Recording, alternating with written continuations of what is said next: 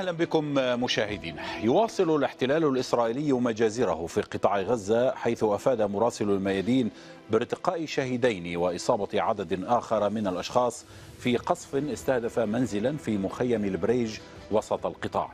وكان قد استشهد ثمانية فلسطينيين بينهم طفلتان وأصيب آخرون في قصف لقوات الاحتلال الإسرائيلي فجر اليوم على قطاع غزة. مصادر محلية أكدت أن قوات الاحتلال استهدفت منزلا في محيط ميدان فلسطين وسط مدينة غزة ما أدى إلى استشهاد طفلتين.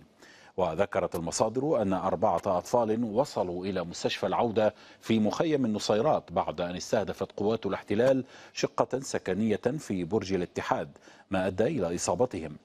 كما أشارت المصادر إلى أن خمسة فلسطينيين استشهدوا في قصف إسرائيلي لشقة سكنية في بلدة الزوايدة في وسط القطاع.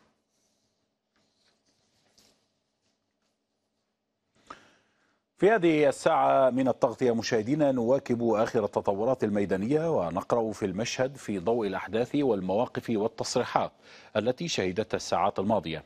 ينضم إلينا هنا في الاستوديو الدكتور علي مطر الخبير في العلاقات الدولية ومن رام الله مدير مركز مسارات لأبحاث السياسة هاني المصري. أهلا ومرحبا بكما ضيفي العزيزين. لكن مشاهدينا في البداية نبدأ مع الزميل علي مرتضى من جبهة الإسناد اللبنانية ليطلعنا على آخر التطورات فيما يتعلق بهذه الجبهة. إليك علي.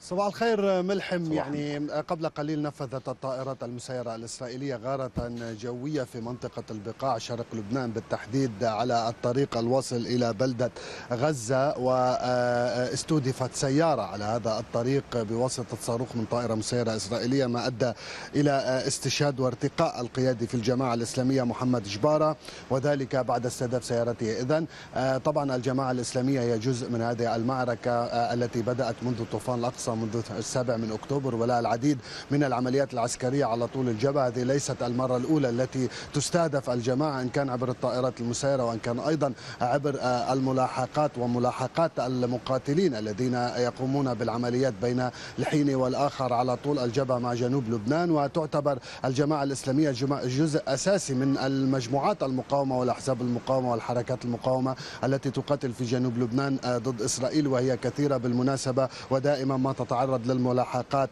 العسكرية والأمنية من قبل العدو الإسرائيلي. بالمجمل عدا عن هذه الغارة الهدوء يسيطر على الجبهة منذ الأمس. بالأمس أيضا شهدت هذه الجبهة غارة من مسيرة إسرائيلية استهدفت المنطقة بين الطيب والقنطرة إلى أنه لم يسجل إصابات. كذلك أمس كان هناك غارتين حربيتين الأولى استهدفت بلدة الطيب والثانية استهدفت بلدة عيترون ولم نسجل أيضا وقوع إصابات بهذه الغارات. أيضا بالأمس شهد عملية عسكرية واحدة حدثت بعد منتصف ليل أمس واستهدفت مستعمرتي ساعر وغشر هزيف بعشرات صواريخ الكاتيوشا. طبعا هذا جاء نتيجة استهداف المدنيين من قبل العدو الإسرائيلي ما أدى بالمقاومة إلى الرد على هذه المستوطنة. بالمناسبة هذه المستوطنة تقع تتصل عمرانيا مباشرة بنهارية تقع شمال شرق نهارية يعني هي تقريبا في نهارية ولكنها إحدى ضواحي الشمالية لمستعمرة نهارية. بالمجمل هذه هي كل الأوضاع على الجبهة عسكريا الجبهة هادئة.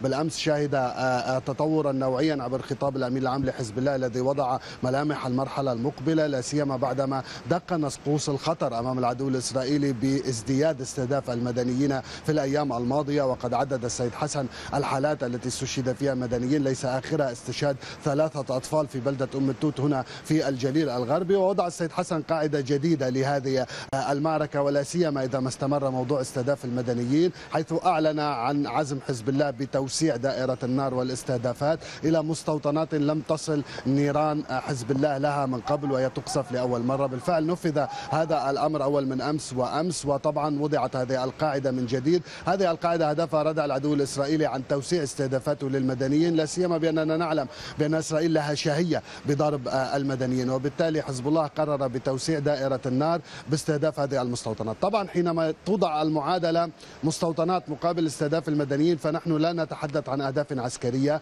لا نتحدث عن قواعد عسكرية لا نتحدث عن الأمور العسكرية البحتة بمعنى ملاحقة قواعد الجيش الإسرائيلي ومواضعه المستحدثة وحتى القديمة والقواعد الأساسية وحتى القواعد المستحدثة بل يعني حزب الله بأنه سوف يوسع دائرة التهجير للمدنيين للمستوطنين الإسرائيليين المتواجدين في هذه المستعمرات والتي إن قصفت من جديد سوف تؤدي إلى توسيع دائرة التهجير بالشمال بالمجمل. هذه هي كل الأوضاع على الجبهة حتى اللحظة ملحم شكرا جزيلا لك علي مرتضى من جنوب لبنان. أبدأ معك دكتور علي مطر فيما يتعلق بانعكاسات التصريحات التي أدلى بها سماحة الأمين العام لحزب الله سيد حسن نصر الله بالأمس في العاشر من محرم كان لها انعكاسات كبيرة في الحقيقة في الداخل الإسرائيلي.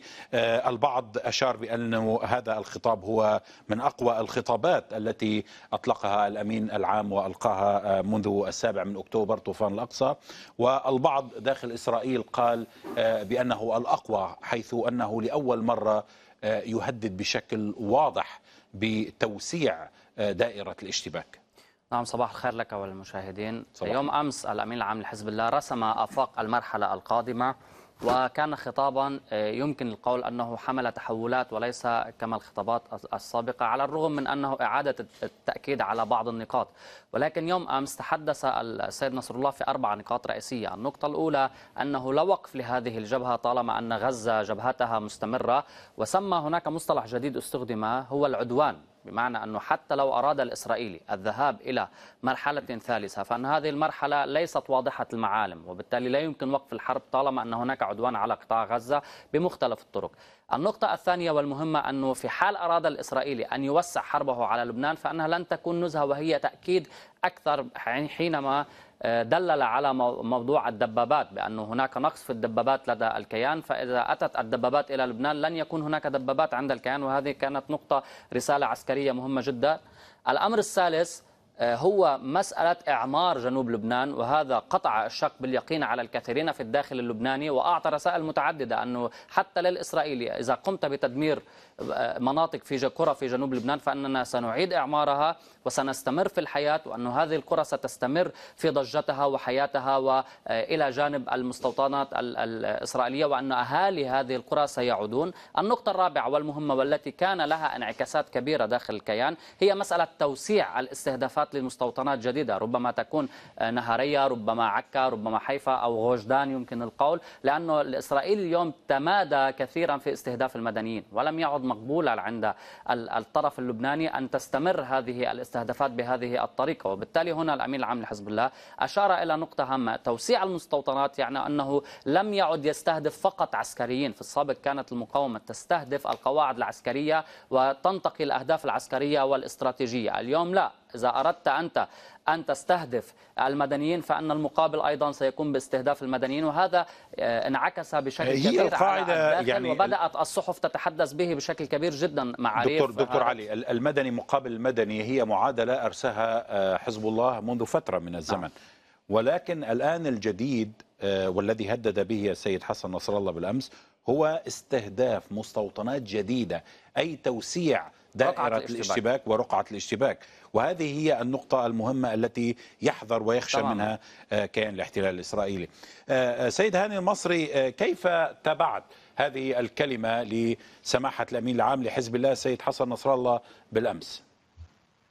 أعتقد أن هذه الكلمة هامة جدا وتزيد من المأزق الإسرائيلي لأن إسرائيل هي في مأزق مزدوج. مأزق عدم قدرتها على حسم الحرب في قطاع غزة رغم مرور يعني حوالي عشرة أشهر ومأزق انهيار نظرية الردع الإسرائيلي من خلال استمرار الحرب المحدودة على الجبهة الشمالية بدون أن تستطيع إسرائيل أن تحسمها أيضا. تهدد تارة تتراجع تارة أخرى.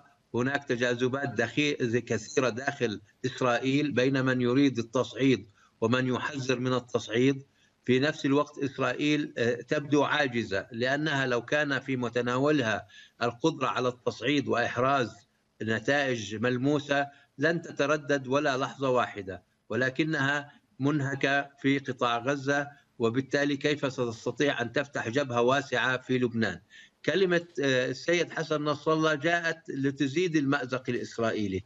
أننا ليس لسنا فقط آه، نتضامن مع غزة وإنما يمكن أن نصعد يعني هجماتنا لمستوطنات جديدة وهذا يزيد المأزق الإسرائيلي لأن ماذا يعني التصويت لمناطق ومستوطنات جديدة. يعني أن مزيد من المستوطنين سيهاجروا وتتكفل بهم الدولة. يعني المزيد من المتاعب الاقتصادية. يعني المزيد من ظهور العجز الإسرائيلي. لأن إسرائيل كانت دائما هي التي تبدأ الحرب هي التي تحسمها هي التي تنهيها وهي التي تبقيها خارج جبهتها الداخلية. كل هذه الأركان آه، سقطت.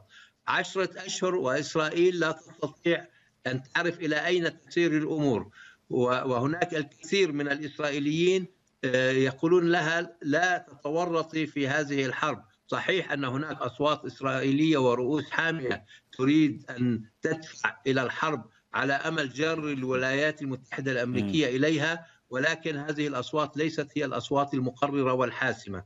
إذا المأزق الإسرائيلي يتعمق ولكن علينا أن نلاحظ أن المكابرة لا تزال مستمرة. فنتنياهو نعم. يعني لا يزال يكابر وإحنا مثل ما نقول المكابرة والعناد كفر. يعني لا لا لا يمكن أن تحل المكابرة المأزق وإنما يمكن أن تؤجل يعني لحظة الحقيقة يمكن أن تؤجل الحسم وخاصة أن هناك ضغوط من داخل جيش الاحتلال ومن داخل الاجهزه الأمنية الإسرائيلية على نتنياهو لدرجه أن هذه السيد المصري هو هو لا ينظر إلى المأزق الذي تعيشه إسرائيل إنما ينظر إلى المأزق الذي يعيشه هو شخصيا وبالتالي إطالة أمد هذه المعركة ربما يبعد عنه المحاسبة ولو لفترة من الزمن. سنعود إلى هذه النقطة ولكن معنا الآن هناء محميد تنضم إلينا من الضفة الغربية من القدس المحتلة. هناء محميد لتضعنا في صورة آخر التطورات حيث الأنباء تشير إلى اقتحام الوزير الإسرائيلي المتطرف بن جفير للمسجد الأقصى هناء ماذا في التفاصيل؟ بالفعل ملحم يعني في هذه الأثناء يقوم وزير الأمن القومي الإسرائيلي المتطرف ايتمار بن كبير باقتحام للمسجد الأقصى المبارك طبعا برفقه عدد من مساعديه وأيضا برفقه آه، لعدد كبير من عناصر الشرطة الإسرائيلية وعناصر المخابرات الإسرائيلية الذين يرافقونه في هذا الاقتحام الاستفزازي والاحتلالي لباحات المسجد الأقصى. وفي هذه الأثناء أيضا يتم منع المصلين الفلسطينيين من دخول آه، المسجد الأقصى المبارك، هذه المرة الثانية آه، التي يقوم بها بن كبير باقتحام المسجد الأقصى منذ بدء العدوان الإسرائيلي وحرب الإبادة على قطاع غزة منذ السابع من أكتوبر كان قد اقتحم المسجد الأقصى في آه، يعني في نهاية تقريبا شهر أيار مايو الماضي خلال فترة عيد الفصح العبري. وهذه المرة الثانية التي يقتحم يقتحمه بفارق زمني ليس طويلا في الواقع بين شهر أيار مايو الماضي. وهذه المرة متوقع طبعا أن يقوم بن كبير بربما إصدار بيان أو حتى يعني تصريحات عبر الفيديو أو ربما عبر تغريدة له بعد أن ينهي هذا الاقتحام كما يقوم آه، بالعادة بفعل ذلك أو أن يقوم بتسجيل آه، فيديو أيضا مصور من داخل بحات المسجد الأقصى المبارك يقوم خلاله آه، يعني الإتلاء بتصريحات حربية عمليا أو حربجيه ضد الشعب الفلسطيني وضد الفلسطينيين عموما والمسلمين وأيضا يعني بالتحديد حول غزة وحركة حماس وأيضا حول السيادة على المسجد الأقصى المبارك كما آه، يعني انتهج آه، بشكل آه، عام في المرات السابقة حتى ما قبل الحرب العدوانية على قطاع غزة، اذا بالفعل يعني ملحم باختصار في هذه الأثناء ما زال على الأقل بحسب المعلومات المتوفرة لدينا ما زال بن كبير في داخل باحات المسجد الأقصى ويتوقع أن يدلي بتصريحات مباشرة بعد خروجه. ونحن بطبيعة الحال نتابع صور آه هذه الصور آه لبن فير وهو داخل آه باحات المسجد الأقصى. شكرا جزيلا لك هناء آه محميد. وأعود لك سيد المصري آه التعليق على هذه الصور وهذا الاستفزاز الجديد للوزير الإسرائيلي المتطرف بن غفير فضلا عن الاعتداءات والجرائم الإسرائيلية والوحشية الإسرائيلية التي تمارس منذ قرابة عشرة أشهر في قطاع غزة. أيضا الاستفزازات على الصعيد الآخر المتعلق باقتحام المسجد الأقصى المقدسات الدينية الإسلامية والمسيحية. كذلك الأمر لا يزال متواصل.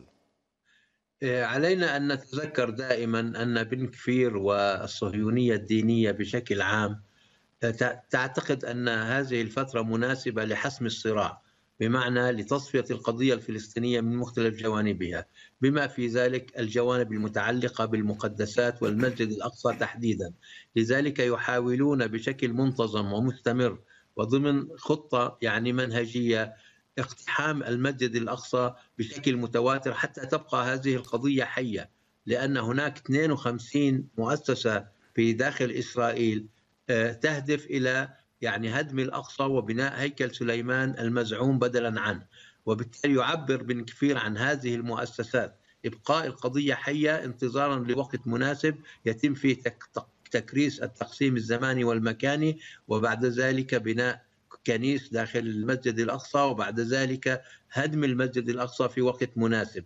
هذا كلام قد يبدو مبالغا به ولكن من يسمع وماذا يقولون ويطلع على ماذا يخططون يعتقد أن هذا الأمر يمكن أن يتم إذا لم يتم إدراك مبكر من قبل الفلسطينيين والعرب والمسلمين والأحرار في العالم كله لخطورة تنفيذ هذا المخطط، لذلك يجب أن نأخذ هذه التصرفات بكل جدية وخاصة أنها جزء من كل. يعني بمعنى بن كفير طالب بإطلاق الرصاص على رؤوس الأسرى، بن كفير طالب بحل السلطة الفلسطينية، بن كفير طالب باحتلال قطاع غزة وتهجير أهلنا في قطاع غزة إلى الخارج وإعادة الاستيطان إلى قطاع غزة، بن كفير يريد أيضا التخلص من شعبنا داخل أراضي 48 اذا الموضوع ليس موضوع خطوة هنا وخطوة هناك منعزلة عن بعضهما البعض وإنما هناك مخطط متكامل.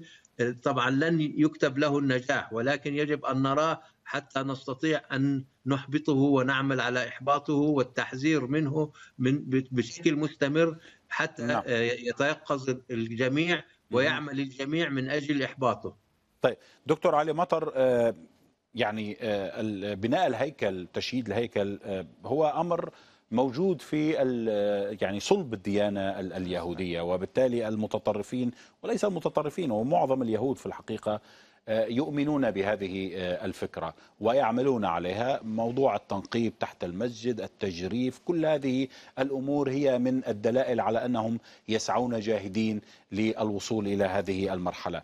ما هو السبيل لوقف هذه الخطوات وهذه الإجراءات الإسرائيلية؟ إسرائيل اليوم غارقة أكثر فأكثر في موضوع العنصرية وموضوع التطرف وموضوع العضوية والذهاب أكثر نحو التطرف الديني. اليوم كما هو بات واضحا يعني من معركة سيف القدس إلى اليوم أنه لا لم يعد هناك سبيل أمام إيقاف هذه الحركات الإسرائيلية وهذه المسألة إلا ما تقوم به المقاومة لأن العالم كله اليوم يشارك إلى جانب إسرائيل في إعطائها كل ما تريد بحيث أنه حتى المجتمع الدولي يعتبر أن من حق إسرائيل هذا الأمر وبالتالي من يقف أمام ما تقوم به إسرائيل. اليوم الشعب الفلسطيني يترك وحيدا. الفلسطينيون في الداخل يتركون لوحدهم يواجهون مصيرهم لوحدهم. وفي الضفة وفي القدس هناك يعني أزمة حقيقية خاصة في القدس هناك أزمة حقيقية بحيث أن إسرائيل تبسط سلطتها كيفما تشاء. وبالتالي من يقوم بإيقاف هذه المسألة هذه التصرفات الإسرائيلية إلا المواجهة التي تحصل؟ فحقيقة ما وصلت إليه حركة حماس وفصائل المقاومة في قطاع غزة لم يكن إلا نتيجة أن الإسرائيلي فعلا لم يترك أي باب مفتوح للفلسطينيين من أجل الحفاظ على حقوقهم. وأحد هذه الحقوق هو الحفاظ على المسجد الأقصى الحفاظ على القدس على قدسية هذه القضية. وبالتالي ما قام به الفلسطينيون يأتي في هذا السياق لا, لا لم يخرج عن أي سياق آخر الأمين العام لحزب الله أشار بالحقيقة إلى هذه المسألة في خطابه في ليلة التاسع من محرم وتحدث عن أنه فكرة إسرائيل وأنه إسرائيل إلى أين ذاهبة وعن فكرة الهيكل وكل هذه الأمور وأكد فعلا على أن المقاومة هي السبيل الوحيد لوضع حدود للكيان الإسرائيلي وأصلا فكرة طوفان الأقصى قائمة على على هذا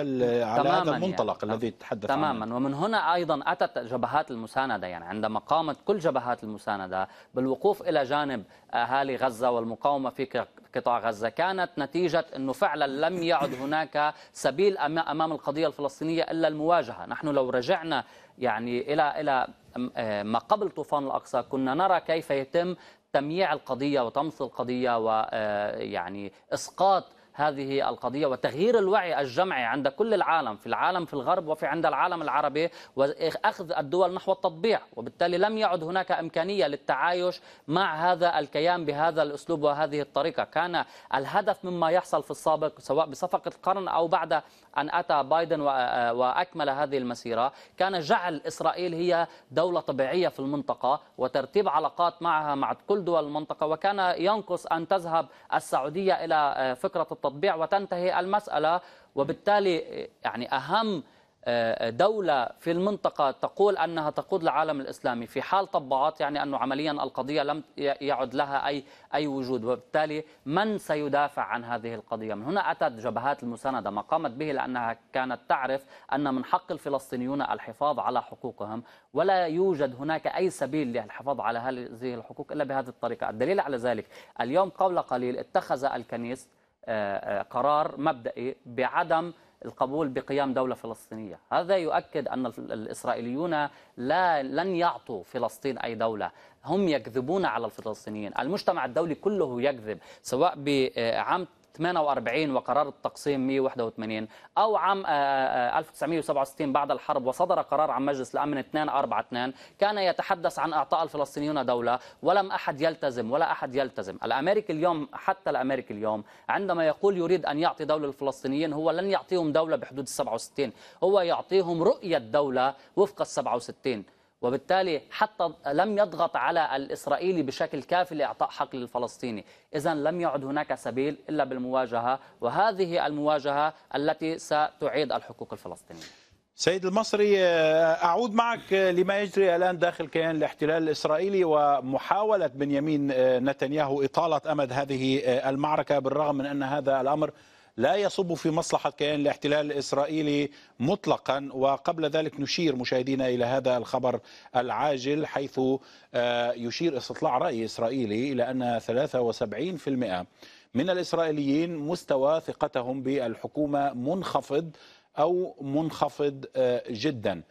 وأيضا استطلاع الرأي أيضا يشير إلى أن 86% من الإسرائيليين قلقون جدا من الوضع الأمني في إسرائيل، اذا القلق يتزايد سيد المصري كما نتابع في هذا الخبر العاجل بناء على استطلاعات الرأي الإسرائيلية.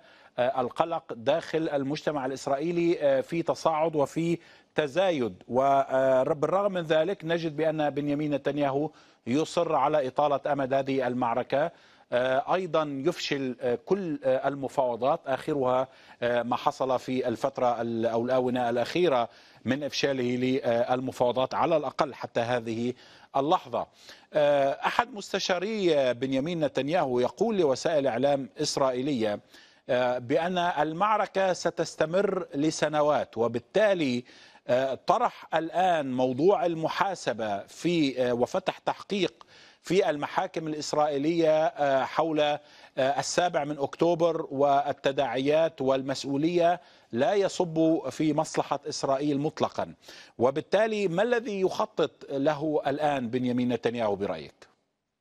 أعتقد أن بنيامين نتنياهو يراهن على استمرار الحرب ويستخدم الحديث عن المفاوضات وعن الصفقة للتغطية على استمرار الحرب واستمرار الحرب لأسباب ذاتية وموضوعية. أنا ضد المبالغة بأن استمرار الحرب فقط من أجل بقائه السياسي، هذا واحد من الأسباب ولكن هناك أسباب أخرى. منها أن نتنياهو يعتقد هو وشريحة لا بأس بها في إسرائيل بأن وقف الحرب أو الصفقة بدون إحراز نصر واضح. هو يسميه نصر مطلق ولكن الذي يسعى فعلا له هو نصر واضح. نصر واضح يستطيع فيه أن يستعيد جزء على الأقل من قوة الردع الإسرائيلية التي انهارت.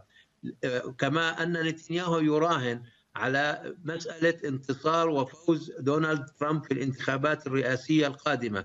بل قرأنا يعني في الأيام الأخيرة بأن إيلون ماسك يقوم بوساطة ما بين نتنياهو وما بين ترامب لأن هناك عتب من ترامب على نتنياهو لأنه هنأ بايدن بعد فوزه وأرسل بعض الإشارات التي تزكي يعني بايدن وبالتالي غضب منه غضبا هو يعني لا يحتاج لوساطة سيد المصري لأنه آخر تصريحات دونالد ترامب فيما يتعلق بالحرب على غزة يشير إلى أن إسرائيل لديها الحق في مواصلة هذه المعركة وعلى الولايات المتحدة الأمريكية دعمها لإنهاء هذه المعركة والقضاء على حركة حماس بشكل كلي. وبالتالي هو لا يحتاج يعني لوساطة من إيلون ماسك أو من غيره. ربما خلافات شخصية إنما في الرؤية العامة لدونالد ترامب فيما يتعلق بإسرائيل. هذا الأمر لم يتغير بالرغم من الخلافات أو العتب إنجاز التعبير لأنه لا يوجد خلافات العتب فيما يتعلق بالذي حصل مؤخرا ما بين دونالد ترامب وبايدن نعم وعفوا نعم. على صعيد نتنياهو. على صعيد الرؤية العامة وعلى صعيد العلاقة الاستراتيجية بين الولايات المتحدة الأمريكية وإسرائيل وبين اليمين الأمريكي وما بين اليمين الإسرائيلي هذا ليس محل نقاش ولكن هناك بعض الترسبات الناجمه عن بعض التصرفات التي أغضبت يعني ترامب وبالتالي يتم معالجتها حتى تكون الأمور يعني مستتبة إذا فاز ترامب يعني في انتخابات الرئاسة يعني القادمة. في إسرائيل الآن أشبه بالسيرك يعني واعتقد أن مثل هذا السيرك لم نشهده من قبل. يعني وزير الحرب ورئيس الأركان وقادة الأجهزة الأمنية يشهرون برئيس الحكومة ويضغطون عليه حتى عبر وسائل الإعلام. وسأقدم بعض الأمثلة على ذلك. مثلا نتنياهو قال بأن الجيش لم يتجاوب معي في مزيد من الضغط العسكري على إسرائيل. فرد عليه رئيس الأركان علنا وطالبه بالاعتذار من الجيش لأن هذا الأمر غير صحيح. نعم. وفعلا بعد كل هذا الإجرام الذي تمارسه إسرائيل في قطاع غزة ما هو مطلوب أكثر؟ وهل بمقدور جيش الاحتلال أن يقدم أكثر؟ مثلا نتنياهو قال بأن يعني كلما نضغط على حماس والمقاومة أكثر كلما تصاب المعارضة الإسرائيلية بالجنون وتمارس المزيد من الضغط عليه وبالتالي يصور المعارضة وكأنها تخدم حماس. وهذا شيء يعني يدل على حجم الخلاف وحجم الصراع. الموجود داخل إسرائيل. وزير الحرب أعلن أكثر من مرة ومعه قادة أمنيين وعسكريين بأن شروط الصفقة اكتملت وأنه لا يوجد أي عائق أمني يمنع إتمامها إلا عليكم وقال ذلك لأهالي المحتجزين والأسرى. عليكم برئيس الحكومة الذي يضع العقبات والصعوبات لمنع إتمام الصفقة. وأعتقد أن هذا الأمر بات واضحا جدا.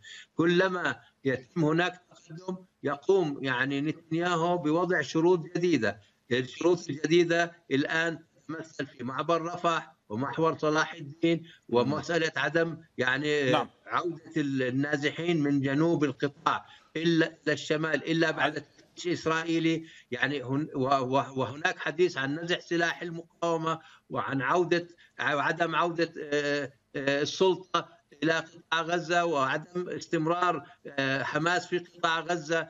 كل هذه المسائل يعني تجعل إمكانية إتمام الصفقة مستحيلة. أمر صعب. والمعارضة طيب. الداخلية في إسرائيل تزداد. طيب وهناك الان الآن حديث عن أن ليبرمان وبنت ولابيد بحثوا إنشاء تحالف سياسي لمواجهة حزب الليكود ولإبعاده عن الساحة السياسية، على كل حال هذه الأمور ربما نتحدث عنها بعد قليل، لكن مشاهدينا كتائب القسام أعلنت أنها قصفت بالاشتراك مع ألوية الناصر صلاح الدين القوات المتمركزة في منطقة العزبة جنوب غرب حي تل السلطان في مدينة رفح بقذائف الهاون. القسام أعلنت كذلك استهداف دبابة من نوع ميركافا بقذيفة الياسين 105 قرب مفترق المشروع شرق مدينة رفح ووزعت القسام مشاهد لكمين مركب في تل الهوى.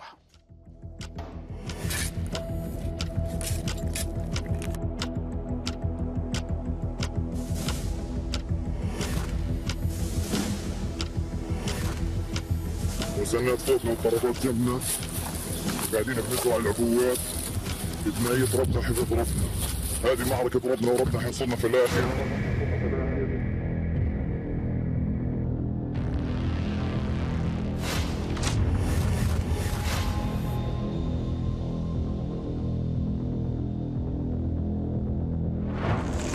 بإذن الله عليكم عليكم.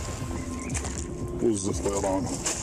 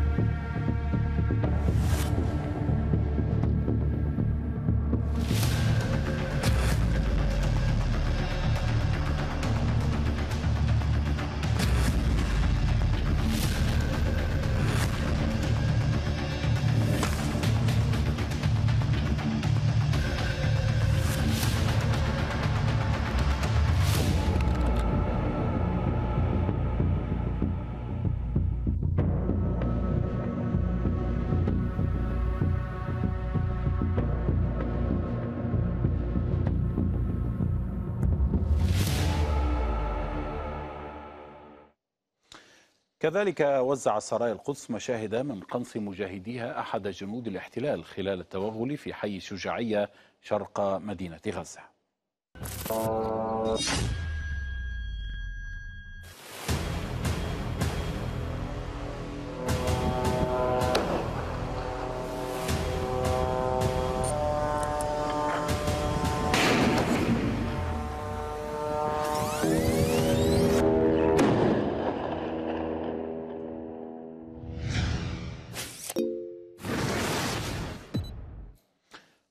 وتظاهر آلاف الإسرائيليين لمطالبة نتنياهو بصفقة تبادل للأسرى لدى المقاومة في غزة قبل خطابه المرتقب في الكونغرس الأمريكي. المتظاهرون في تل أبيب ومناطق عديدة أخرى رفعوا لافتات مع صور الأسرى الإسرائيليين وسط استنفار لشرطة الاحتلال.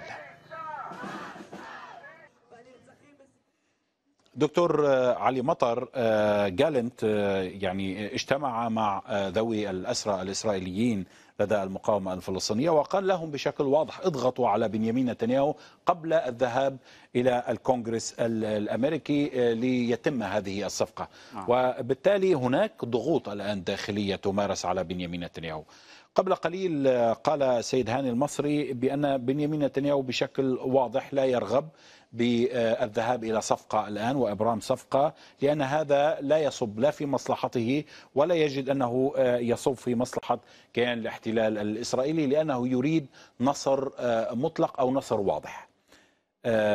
هل هل تعتقد بأن هذه الضغوط الآن لن تؤتي ثمارها يعني بالرغم من تظاهر الآلاف والضغوط السياسية كما تحدثنا الآن المعارضة تتشكل وتتحد وبالتالي الضغوط تزداد على بنيامين نتنياهو. نعم. الآن كل شيء معلق إلى حين خطاب نتنياهو أمام الكونغرس وإمكانية رؤية الرئيس الأمريكي. هذه مسألة. المسألة الثانية أنه من عشرة أشهر إلى اليوم هذه الضغوطات لم تؤثر على بنيامين نتنياهو لأنه يعرف جيدا إنه أول شيء لم يحقق نصر في قطاع غزة وبالتالي أي إنهاء للحرب يعني أنه سيكون أمام واولمرت 2006 لا يزال شاهدا أمامه وبالتالي يمكن أن يذهب نتيجة الفشل الذي حصل من طوفان الأقصى إلى اليوم أمام محاكمة تؤثر على كل المشهد عند بنيامين نتنياهو وعلى مستقبله السياسي. المسألة الثالثة أيضا والمهمه أنه إلى الآن يستثمر ويستقطع بالوقت إلى حين انتهاء الانتخابات الأمريكية وهو يراهن على وصول دونالد ترامب وخاصة أنه كما حصل في المناظرة الأولى أنه ظهر بايدن ضعيف وهناك مطالبات اليوم من قبل الأغلبية الديمقراطية داخل الكونغرس سواء عند جاك شومر عند مجلس الشيوخ أو عند مجلس النواب. هناك مطالبات لبايدن بالانسحاب ضرورة الانسحاب من هذا السباق الرئاسي. وربما في الأيام المقبلة سينسحب أو سيكون هناك تحول واضح في مسار الديمقراطيين. وبالتالي يمكن أن يصل دونالد ترامب في الانتخابات المقبلة. وهو ما يراهن عليه بنيامين نتنياهو بحيث يعتبر أن ترامب سيتعامل معه بطريقة مختلفة. وأنه هو وترامب أصدقاء ويمكن أن يدعمه أكثر.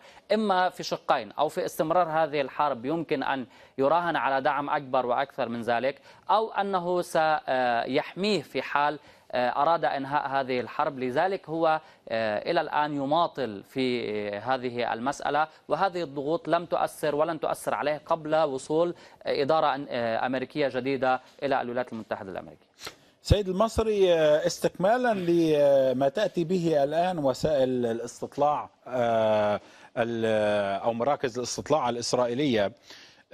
وسائل إعلام إسرائيلية تقول للمرة الأولى منذ اندلاع الحرب معظم الجمهور حوالي 55% تقريبا أعرب عن عدم ثقة بالقيادة الرفيعة المستوى للجيش. وأيضا تشير إلى أن الانخفاض الحاد في الثقة بالجيش سجل على نحو خاص وسط الأشخاص الذين يصنفون في اليمين.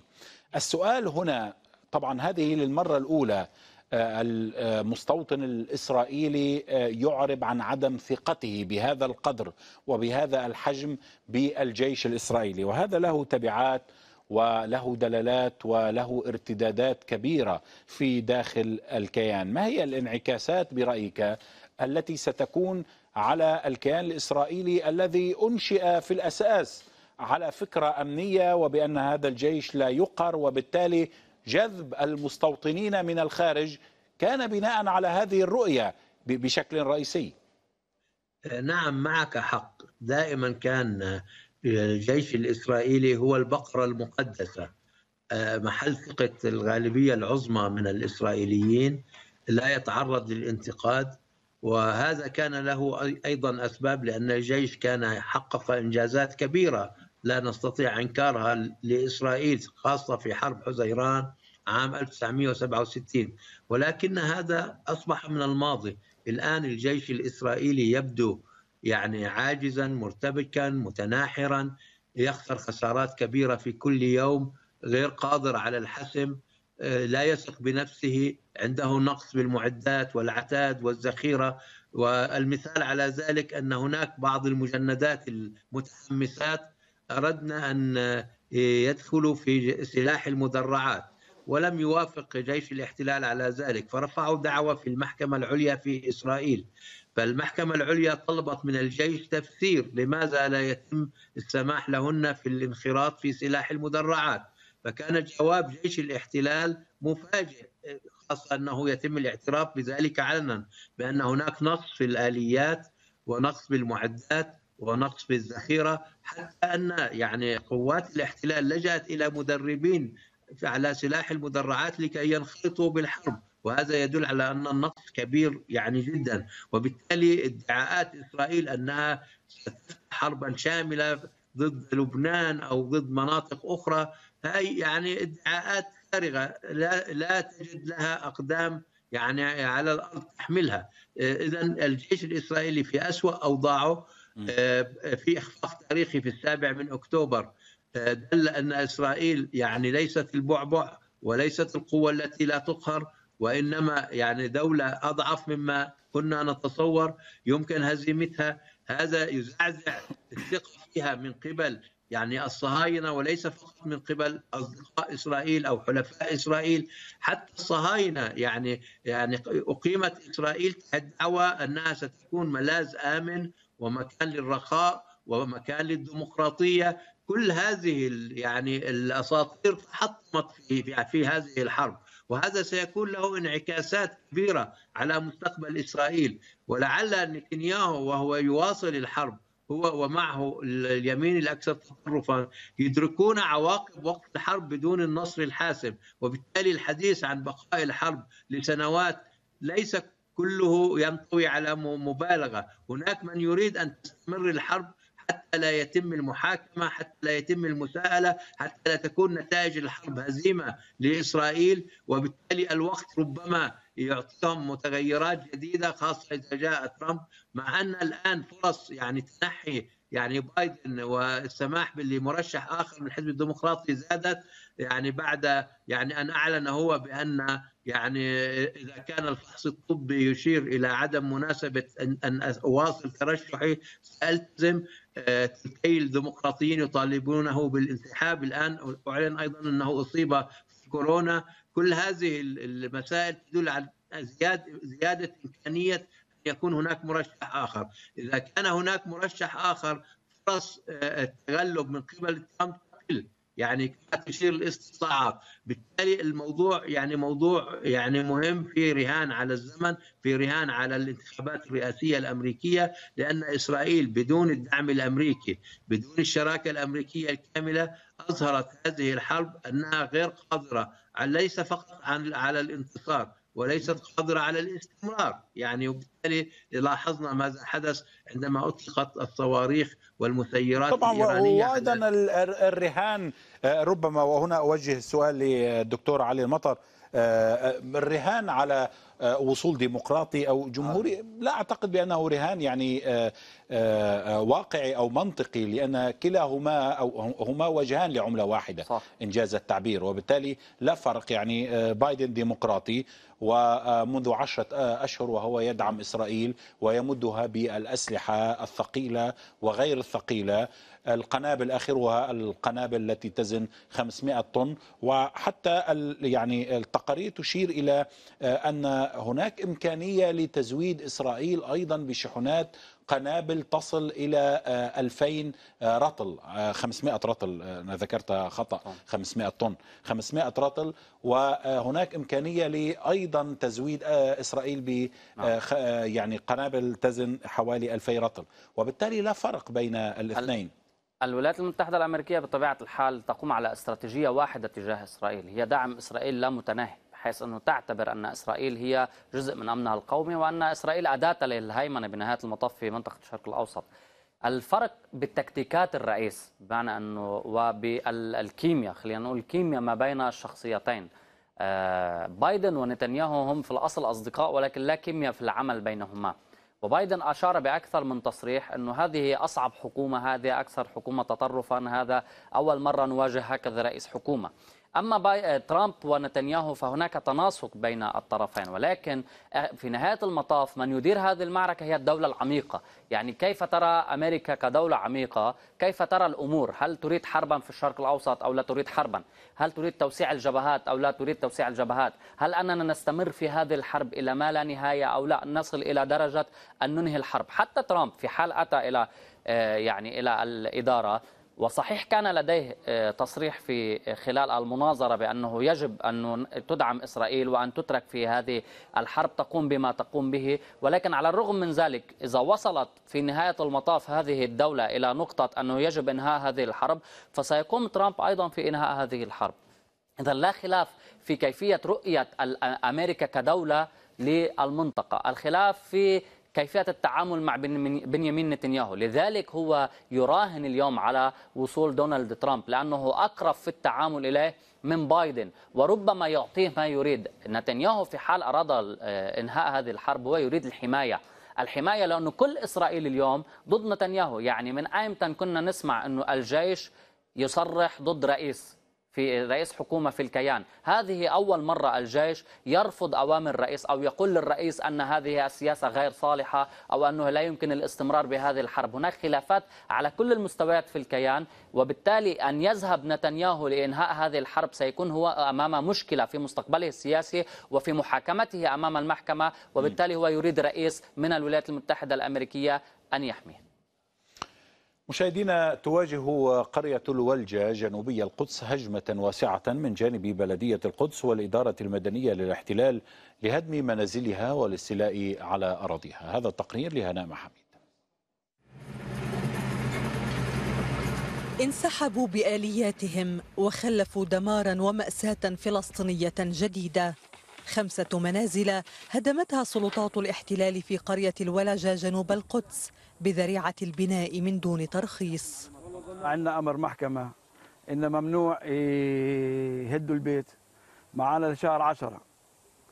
وبنتفاجئ اليوم إن جايين الجماعة وجايبين قرار هدم من المحكمة إن اليوم لازم يهدوا الدار إحنا زينا زي الشعب اللي بصير عليهم بصير علينا. أقل طلع على البلدية بيهدموا أربع خمس بيوت بحجة عدم التراخيص وبحجة إنها هي منطقة خضراء منطقة طبيعية وما كل هدم إلا ما يطلع لك مبرر إما إنك عدم استكمال إجراءات الترخيص أو هاي أراضي تابعه لسلطه الطبيعة أراضي خضراء وممنوع فيها البناء حتى لما بدك تيجي تمشي في الإجراءات القانونية وتحاول تأخذ تراخيص وتروح تقدم الرخص اللازمة ما بيعطوك لإنك عربي. تدعي بلدية القدس أن نحو الثلث مساحة الولجة تابع لنفوذها وتمنع البناء والتوسع فيه. هذه هي القدس. التي هجرت القرية الأصلية منها في العام 48 ثم عزلت عن أراضيها هناك طوال عقود الاحتلال حتى أحكم الجدار فصلها بشكل كلي. نحو 2500 دنم فقط هي ما تبقى للقرية لكن الإدارة المدنية التي تسيطر على المناطق المصنفة جيم في الضفة الغربية تلاحق السكان هي الأخرى. 17 منزل من بداية هذا العام هدمت في منطقة آه، عين جوز اللي بيعتبروها منطقة تابعة للاحتلال في القدس. عندنا نفس الشيء في منطقة آه، جيم. في اختراط يعني قبل أسبوع آه، اقتحموا القرية وأعطوا اختراط لأكثر من بيت وشوارع زراعية بإغلاقها.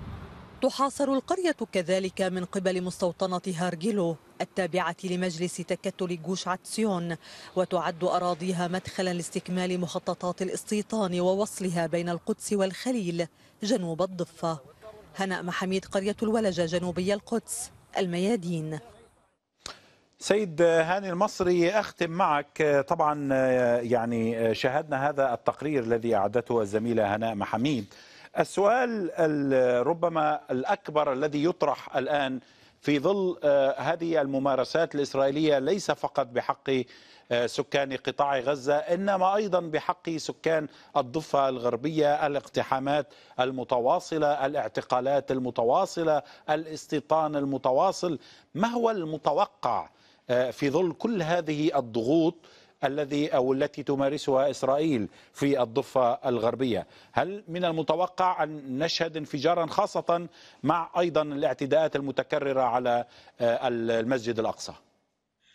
آه، في الآونة الأخيرة تكرر أكثر من مرة أن الأجهزة الأمنية الإسرائيلية أوصت الحكومة بتخفيف الضغط على شعبنا في الضفة الغربية.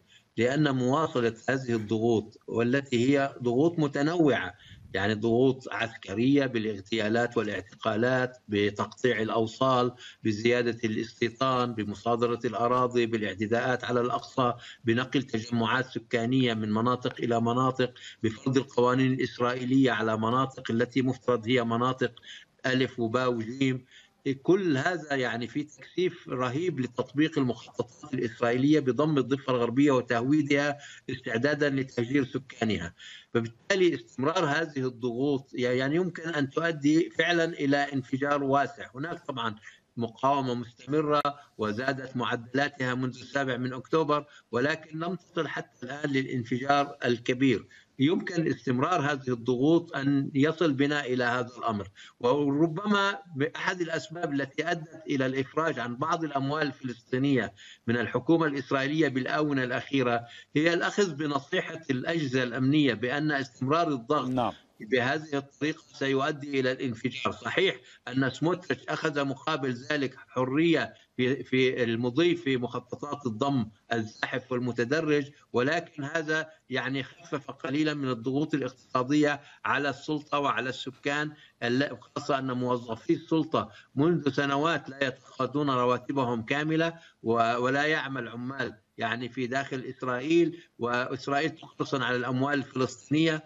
كل نعم. هذه الصورة تدفع بالنهاية إلى الانفجار. متى؟ لا أحد يستطيع أن يعرف. هذه مسائل يتداخل فيها عوامل كثيرة ولكن الأمور تسير في هذا الاتجاه ما لم يحدث تطور كبير في شكرا. الاتجاه المعاكس. أشكرك جزيل الشكر هاني المصري مدير مركز مسارات لأبحاث السياسات. كنت معنا من رام الله. وأيضا شكرا للدكتور علي مطر خبير بالعلاقات الدولية الشكر مشاهدينا موصول لكم أيضا على طيب المتابعة. إلى اللقاء.